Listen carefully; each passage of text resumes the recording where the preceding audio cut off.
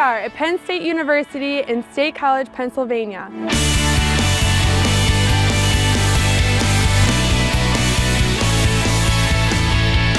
We will be meeting with members from the campus electrical team to discuss new technologies installed in the business building in partnership with GE.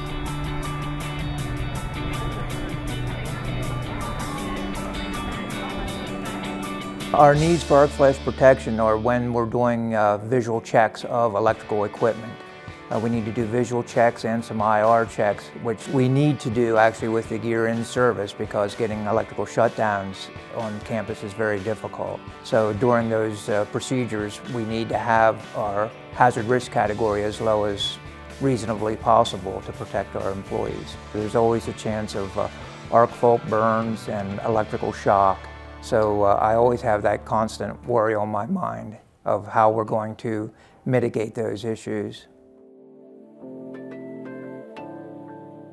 If I were to recommend this to a colleague at another university, I would, I would just have to say that the benefits of it are the reduced hazard risk category, which allows your employee to much more safely work on energized electrical equipment.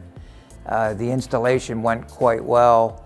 It was, uh, it took an electrical shutdown, but it was, it was a minor electrical shutdown, which was very achievable. And their service afterwards, they're going to do a uh, flash analysis that allows us to actually know what our hazard risk category has reduced to. We see arc flash as a risk at Penn State. We have, through our maintenance procedures and, and normal operations, have to be around uh, different uh, electrical pieces of apparatus which can cause arc flash and put our people in danger. It gives us another resource or another tool to add safety to our workforce and protect our uh, personnel. It also will reduce the impact of downtime when we do have an incident. Some of the safety concerns we have uh, before Arc Vault is when we're trying to do some work on our gear, we usually have to shut the entire gear down or we'll have to wear a 40 calorie suit, which is you know fairly bulky. And with the uh, Arc Vault, we can get that uh, protection down to uh, where it's not such a bulky thing to wear and we can actually see more what we're doing.